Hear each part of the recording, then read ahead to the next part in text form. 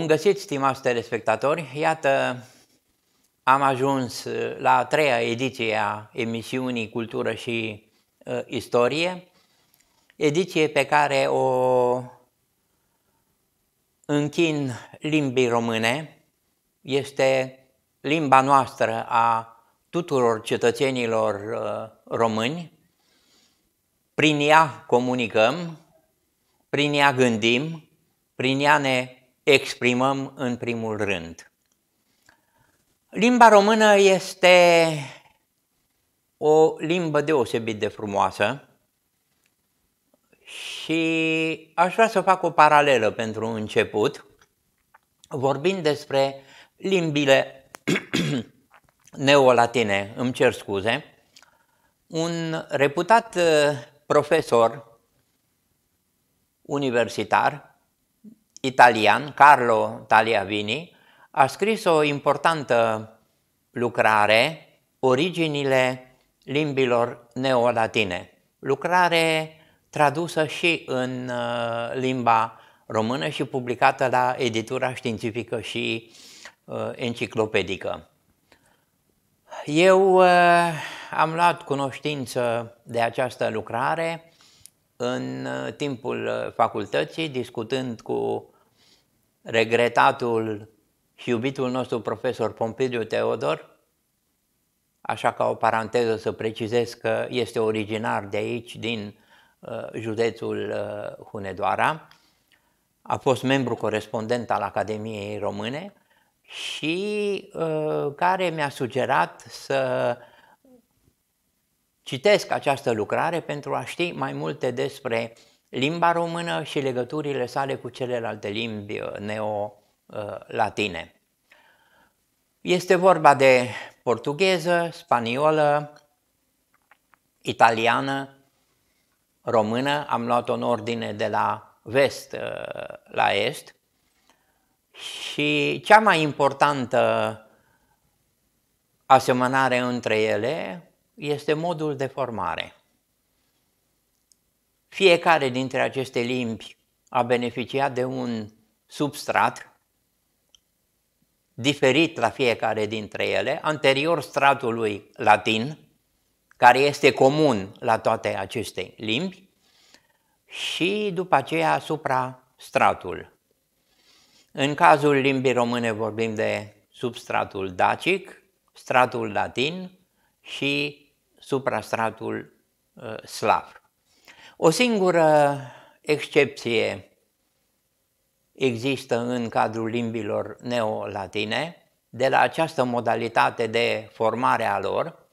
Este vorba despre limba retoromană, care se vorbește și astăzi în uh, Elveția și este a patra limbă oficială a acestui stat, pe lângă franceză, italiană și uh, germană limba retoromană nu a beneficiat de un uh, suprastrat și ea practic este cea mai apropiată de latina uh, populară vorbită în uh, Imperiul uh, Roman, în Italia și, sigur, în provinciile Imperiului uh, Roman.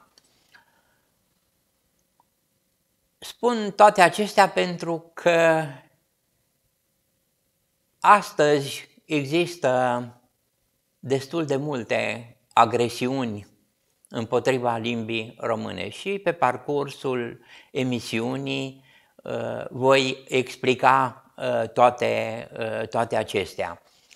Sigur că legat de Carlo Tagliavini, care a fost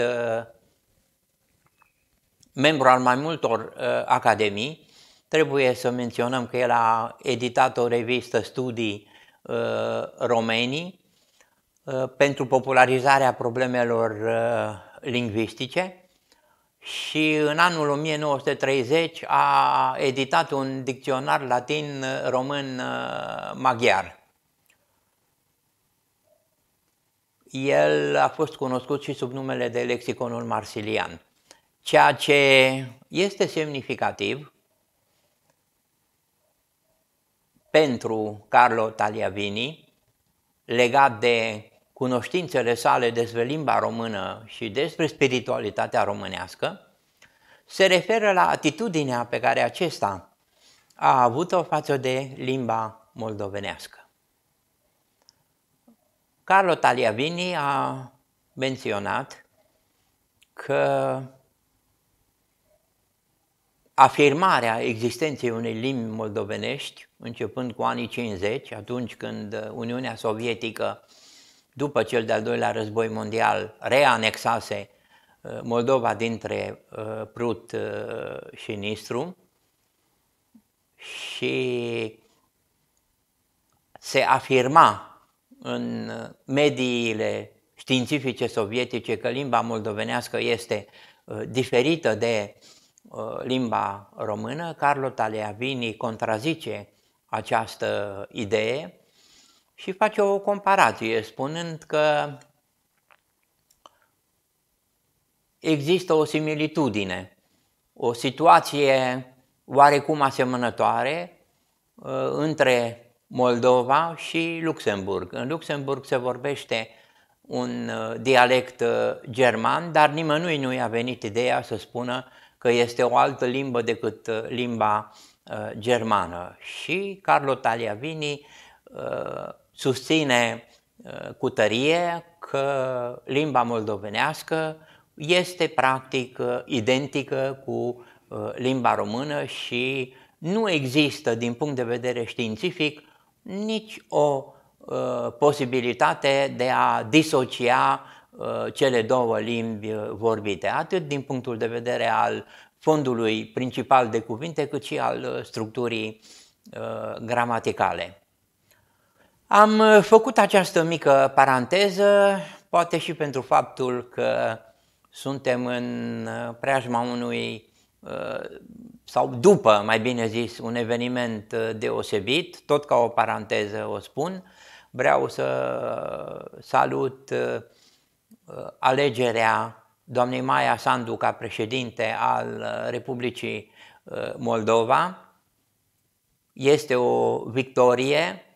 Eu nu amintesc toate acestea din punct de vedere politic, ci prin faptul că doamna Maia Sandu declară răspicat că este româncă și acest lucru este foarte important și, sigur, și orientarea uh, spre structurile europene care ar putea ajuta ca cele două țări române să se unească, uh, este o uh, victorie a noastră, a tuturor, dar în primul rând al poporului român dintre Prut și Nistru, al Maiei Sandu.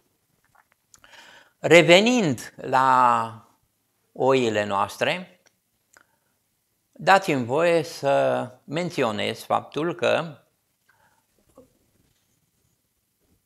tot timpul asupra limbii române au uh, fost o serie de agresiuni. Agresiuni lingvistice. Uh, începând cu secolul al XVIII-lea, cu iluminismul, vreau să spun că școala ardeleană a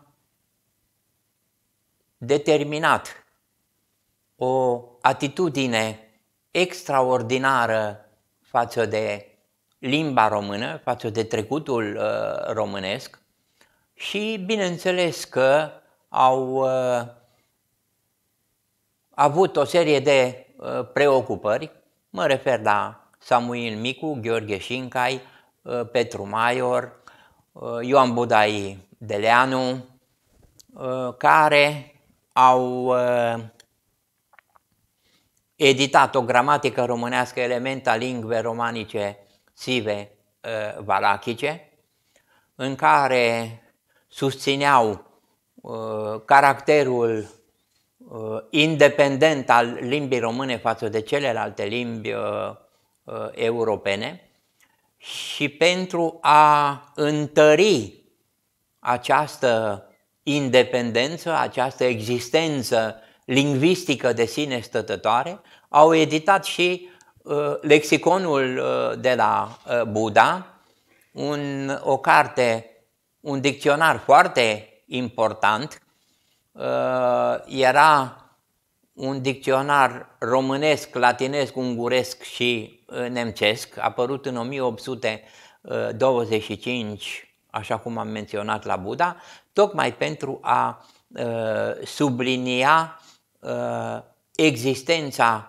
limbii române ca limbă vorbită de poporul român din Imperiul Austriac la acea vreme. Sigur că Petru Maior, la sfârșitul lucrării Istoria pentru începuturile românilor în uh, Dacia, include o dizertație pentru începutul limbii uh, române, în care el uh, afirmă răspicat că limba română provine din latina populară. Dar aceste eforturi de individualizare a limbii române nu s-au petrecut doar în uh, Transilvania, în Imperiul Habsburgic al secolului al XVIII-lea. Trebuie să amintim gramatica românească din 1828 a lui Ion Eliade Rădulescu, publicată la uh, Sibiu, în uh, în care acesta promovează ideea existenței unei limbi române moderne, uh, care, după părerea sa, ar trebui să uh, fie scrisă uh, fonetic și să permită folosirea neologismelor, dar prin adaptarea acestor neologisme Uh, spiritului limbii uh, române. Uh, școala ardeleană, ca să revin, dorea o scriere etimologică. Ei au fost adversarii tuturor acelor neologisme care nu ar fi provenit din limba latină și doreau înlăturarea tuturor acestora din uh, limba uh, română. Iată că eforturile pentru dezvoltarea uh, limbii române sunt deosebite în secolul al XVIII-lea, în secolul al XIX-lea. Mă refer la începuturile moderne ale limbii române. Și de la început s-a pus problema uh, folosirii neologismelor, așa cum am uh, constatat. Neologismele sunt uh, acele cuvinte care sunt adaptate într-o limbă, preluate din alte limbi, dar în principiu ele nu au corespondent în limba care o uh, preia. Acest lucru este, acest aspect este foarte important uh, de uh, menționat în contextul uh, prezentării pe care o facem aici în fața domniilor voastre, stimați telespectatori. De ce? Pentru că neologismele intervin în limba română și uh, degenerează în barbarisme. De aici unele dintre ele. De aici nu trebuie să înțelegem că în limba română nu trebuie folosite uh, neologisme, în niciun caz. Și este practic imposibil să, uh, să nu uh, folosim aceste, uh, aceste neologisme. Dar barbarismele uh, reprezintă o agresiune împotriva, uh, împotriva uh, limbii române. De ce? Ele sunt acele neologisme care au corespondent în limba vorbită.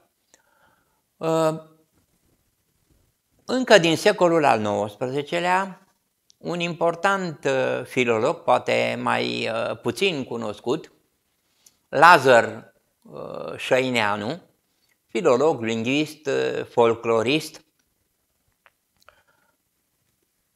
menționează în, într-un dicționar pe care îl întocmește că barbarismele reprezintă un uh, pericol foarte mare pentru uh, orice, uh, pentru orice uh, limbă. Mai târziu, Alexandru Ciorănescu, care a un important filolog român din secolul al XX-lea, a publicat un dicționar etimologic uh, român, vorbește și el despre aceste, uh, despre aceste barbarisme.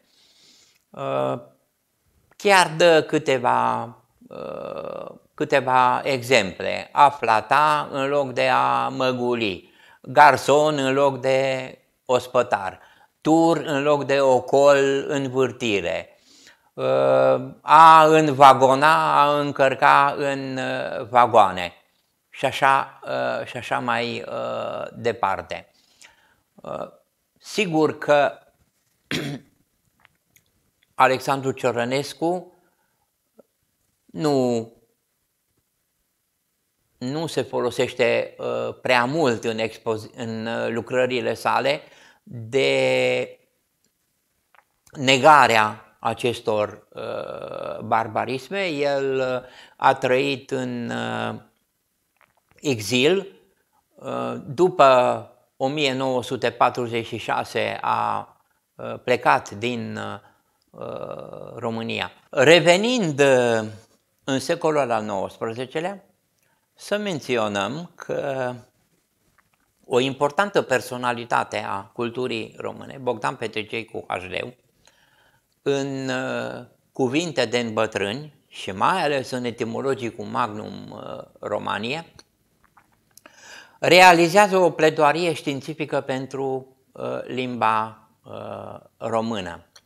De altfel, pe parcursul secolului al XIX-lea au existat o serie de agresiuni împotriva limbii române, prin folosirea excesivă a limbii uh, franceze.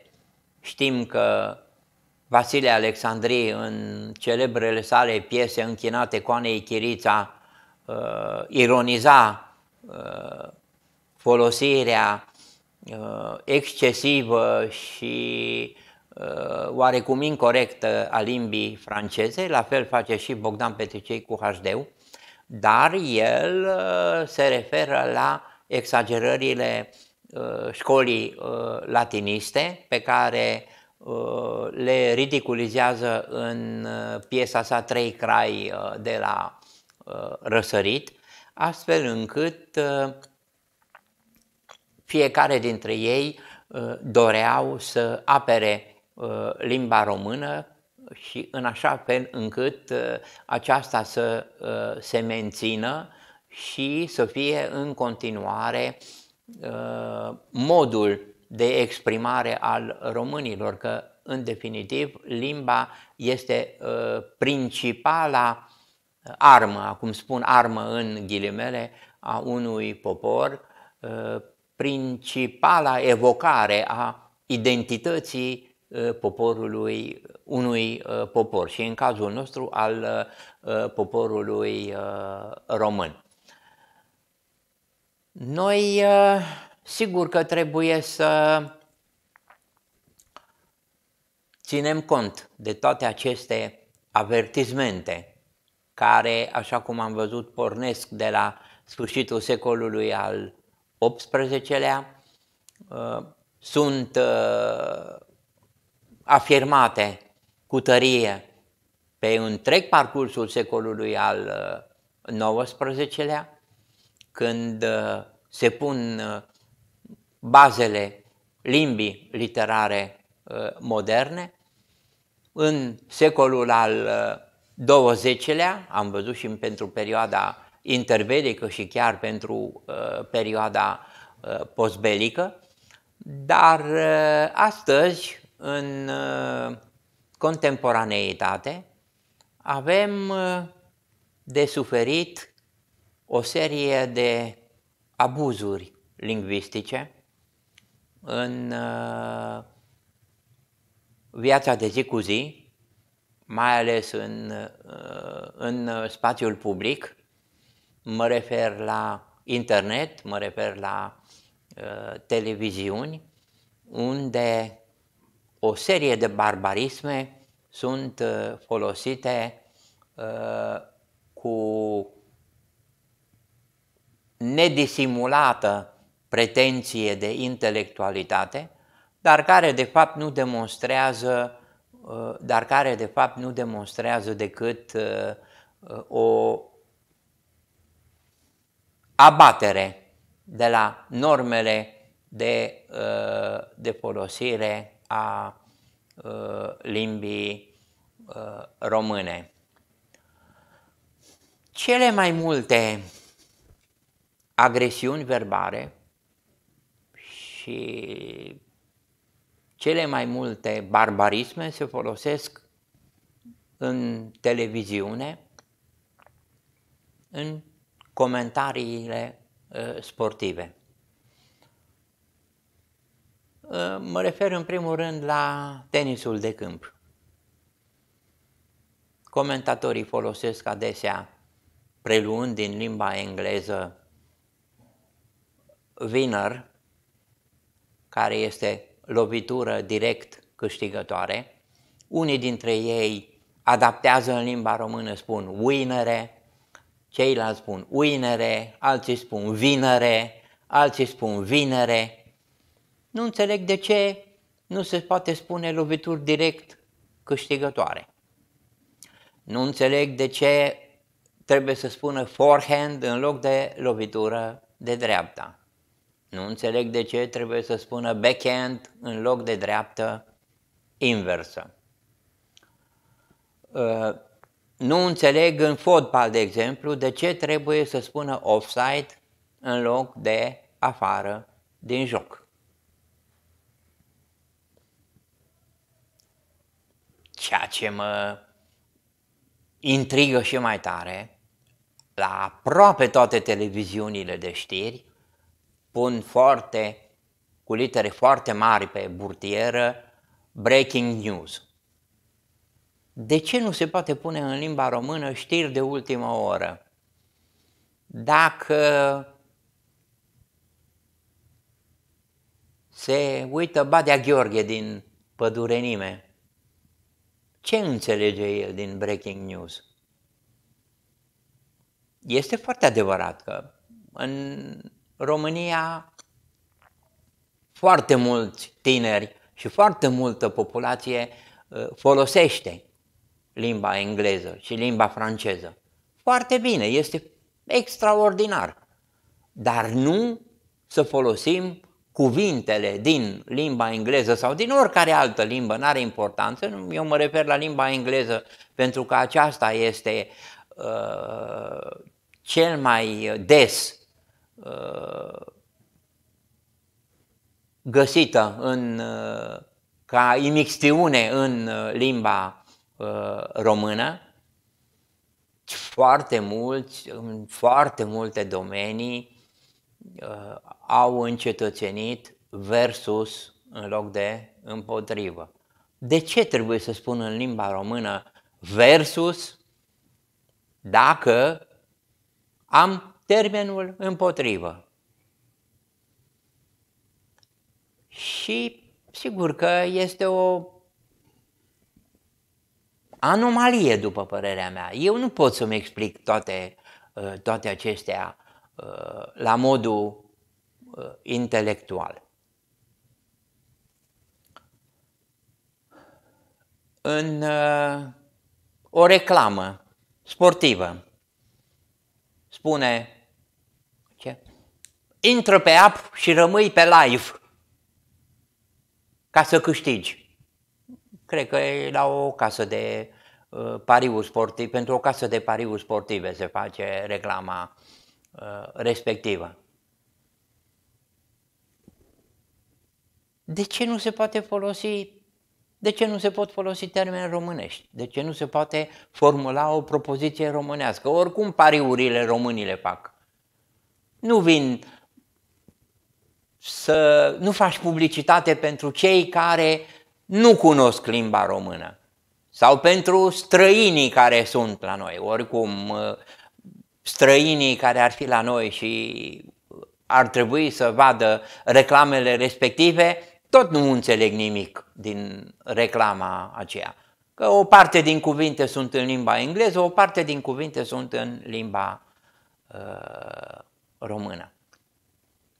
Și cel mai mult, și cel mai mult m-a șocat următoarea propoziție care apare în perioada aceasta. About You este magazinul tău online de fashion de Black Friday. Deci este absolut aberant, este uh, de o incultură crasă această reclamă și afirmarea ei. Cum să, cum să vorbești astfel în limba română? Trebuie să spui foarte simplu. Despre tine. Este numele magazinului pe internet magazinului de modă pe internet de Vinerea Neagră. Cu, cel puțin cu acest Black Friday pe mine mă, mă disperă. Nu poți să folosești Vinerea Neagră? Nu înțelege lumea că uh, despre ce este vorba, că e o perioadă de reduceri. De ce trebuie să folosești uh, cuvinte din altă limbă? Eu uh, vreau să fiu foarte bine înțeles. Nu sunt câtuși de puțin adversarul folosirii limbii engleze sau oricare alte limbi străine, nu are importanță care. Dar nu adaptând cuvinte în limba română care au corespondent în limba pe care noi o vorbim. Vreau să menționez un lucru. Vorbesc destul de bine limba franceză. Eram în uh, delegație la uh, Paris, după ce s-a terminat uh, programul oficial, locuiam la, am fost cazat la un hotel pe malul Senei, lângă Louvre. Și am coborât din cameră, m-am dus la recepție, I-am, vroiam să ajung, eram a doua oară în momentul respectiv la Paris, vroiam să ajung lângă uh, turnul Eiffel, mai fusesem odată până atunci, dar uh, am trecut destul de repede prin Paris fără a putea avea timp să uh, vizitez uh, ceea ce trebuia vizitat în oraș. Și am început să discut cu ei în limba franceză, să îi întreb cum ajung uh, mai ușor spre uh, turnul Eiffel. În fine, am discutat cu respectivii recepțione și mă întreabă din ce țară sunt. Și le spun că din România. Și au rămas oarecum uh, plăcut surprinși că uh, vorbesc uh, franceza, spuneau ei, uh, atât de bine. Cum? Și m-au întrebat, cum de vorbesc franceza atât de bine? Și le-am spus că am studiat la școală 12 ani, Uh, limba uh, franceză și de acolo uh, am învățat și mi-a rămas în memorie și vorbesc limba franceză. Cu această ocazie vreau să îi aduc un omagiu regretatei profesoare de la liceu numărul 2 din Deva, Elena Ganșa, care timp de patru ani ne-a predat uh, limba lui Voltaire și Montesquieu cu deosebită dăruire, cu deosebită plăcere, cu deosebită iubire față de limba și cultura franceză, uh, dar și față de noi, uh, elevii, elevii ei. De ce am subliniat acest lucru? Pentru ca nu cumva să se înțeleagă că uh, nu trebuie să cunoaștem limbi străine, că nu trebuie să le vorbim și că să fim uh, uh, tale quale uh, adversari ai folosirii uh, limbilor străine, nu cât uși de puțin. Folosirea unei limbi străine, mai ales de circulație internațională, așa cum este engleza, franceza, spaniola, care sunt cele trei limbi cele mai vorbite pe uh, mapamont, denotă o cultură. Se spune că ești de atâtea ori om câte limbi uh, vorbești. Și, în mod evident, din acest punct de vedere, românii denotă o cultură și o inteligență deosebită. Să ne amintim când uh, a fost, uh, când a fost de mai multe ori vizita președinților Statelor Unite uh, ale Americii în România cu ocazia vizitei președintelui Bill Clinton și a președintelui George Bush Junior, s-au adresat mulțimii în București și oamenii și mulțimea reacționa cu spontaneitate la, ceea ce, la mesajul uh, președinților până să uh, intervină traducătorul și să spună în limba română ce anume uh, transmitea respectivul președinte al Statelor Unite ale Americii. Ce frumos a fost! Ce deosebit! A demonstrat uh, o deosebită deschidere a poporului român către dialog, către un dialog universal și sigur că din acest punct de vedere trebuie să recunoaștem limba engleză este cea mai importantă și limba, cel mai, limba cea mai vorbită pe întreg, pe întreg mapamondul. Dar de aici și până la distorsiona limba română este o cale destul de lungă, după părerea mea, și ar trebui să încercăm să oprim acest uh, fenomen. Este un gând al meu nu doar de azi de ieri. La 15 aprilie 2008, imediat după ce a avusese loc reuniunea NATO la uh, București, am făcut o declarație politică intitulată Salvați limba română, pe care am postat-o și pe uh, site-ul uh, Camerei uh, Deputaților. Am urmărit la diverse televiziuni cum a fost comentată uh, acea reuniune de la Uh, București. Și în uh, declarația uh, respectivă observam că la, niciun, la televiziunea franceză sau la televiziunea italiană, de exemplu, nu s-a folosit niciodată termenul summit. S-a folosit termenul reuniune în limba respectivă, adică în limba franceză și în limba uh, italiană. Cu ocazia, iarăși cu ocazia vizitei președinților americani, ilustrată uh, la diverse televiziuni, comentatorii se întreceau Secret Service, Secret Service. Nu puteai să spui în limba română foarte simplu serviciu secret. De ce trebuia iertați-mi expresia neacademică, să te izmenești, uh, comentatorul sau comentatoarea respectivă părea mai cultă dacă spunea secret service în loc de serviciu secret. Și a mai fost un moment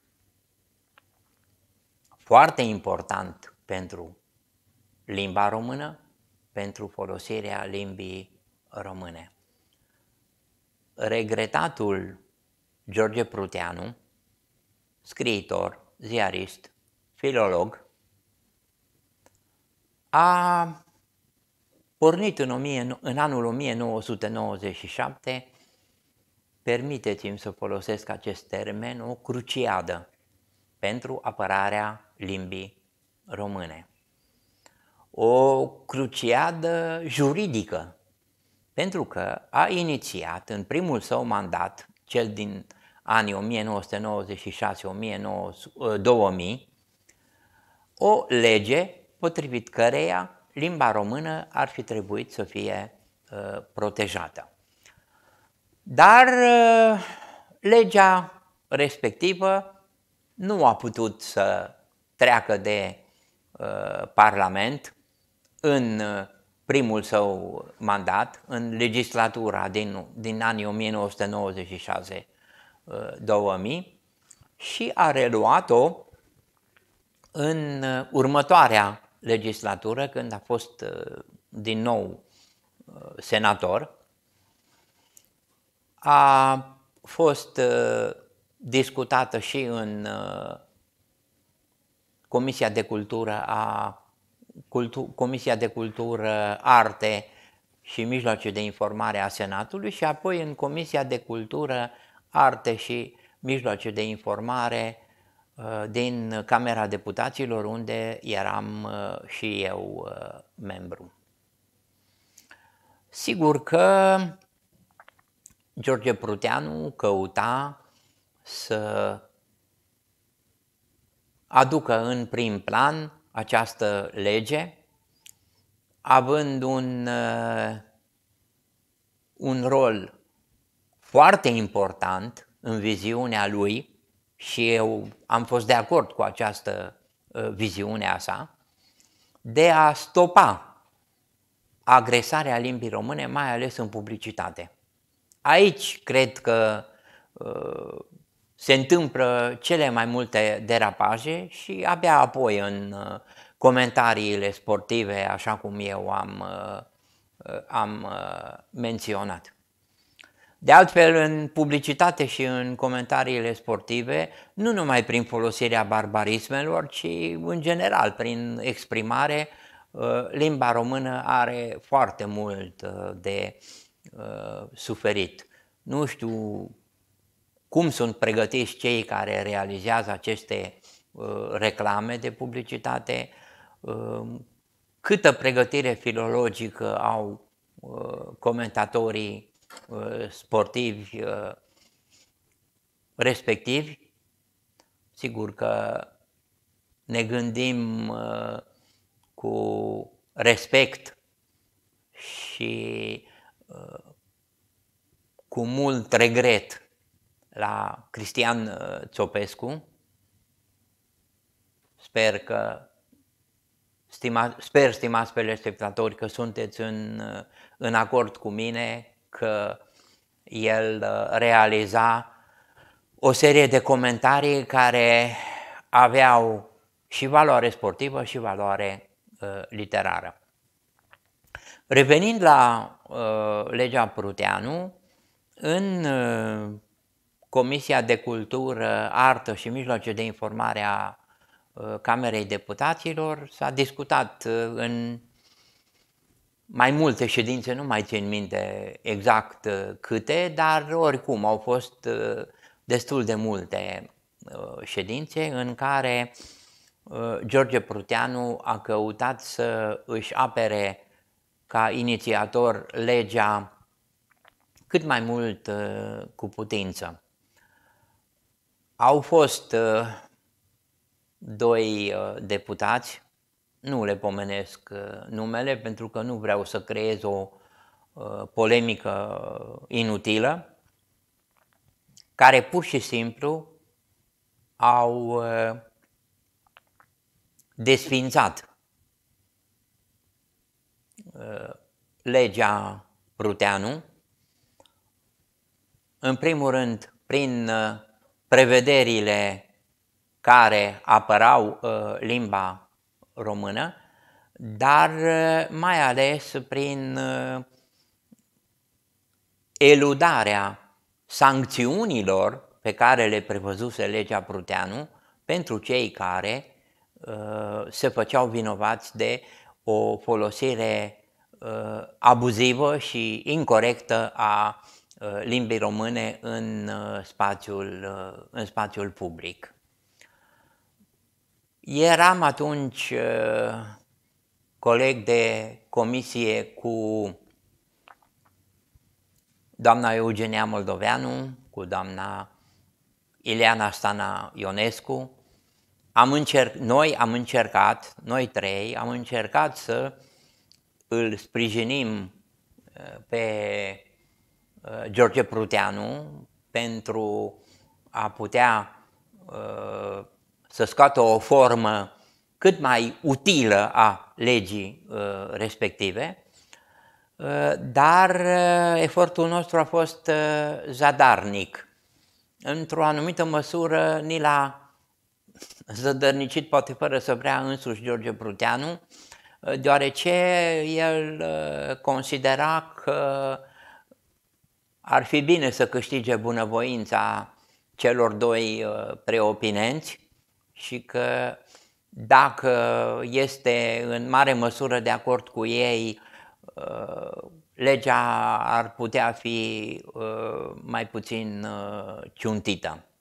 Nu s-a întâmplat, din păcate, așa și este destul de trist. În 2004, președintele Iliescu a promulgat legea Pruteanu, dar am spus că ea nu are foarte mare valoare pentru că uh, sancțiunile și modalitățile de uh, pedepsire a celor care agresează limba română au fost înlăturate din uh, lege. Totuși, ce este de făcut astăzi? Cine ar putea să intervină? În opinia mea sunt două posibilități de a se interveni la nivelul teoretic, moral, ar putea să intervină Academia Română, secția de filologie a Academiei Române. Dar această instituție nu are posibilități pragmatice de intervenție. Oarecum, din punct de vedere practic, ar putea interveni și ar fi de datoria sa să intervină Consiliul Național al Audiovizualului, care, mă rog, cu discernământ, cu, chiar cu oarecare blândețe, dar cu fermitate, ar putea să intervină pentru a înlătura derapajele de genul About You este magazinul tău online de fashion de Black Friday. Asta este o propoziție în limba română, stimați telespectatori. Mie, iertați-mă, poate exagerez, poate unii dintre domniile voastre nu sunteți de acord cu mine, dar eu când văd această reclamă la diversele televiziuni, îmi cer scuze pentru formularea neacademică, dar mi se face pur și simplu părul măciucă. Nu înțeleg asemenea uh, agresiuni împotriva Uh, limbii române. Și eu fac apel la patriotismul tuturor, la patriotismul tuturor intelectualilor, pentru a interveni în acest sens, fiecare prin modalitățile prin care uh, poate. Și consideră că este de datoria sa să intervină. Eu am considerat că realizarea acestei emisiuni este de datoria mea, ca intelectual, ca ex-deputat și nu în ultimul rând în calitate de cetățean român. Vă mulțumesc, stimați telespectatori, pentru atenția cu care sper că m-ați urmărit și în același timp vreau să felicit încă o dată televiziunea Servus HD pentru faptul că îmi dă posibilitatea să vin în fața domniilor voastre cu realizarea acestei emisiuni Cultură și Istorie. La revedere!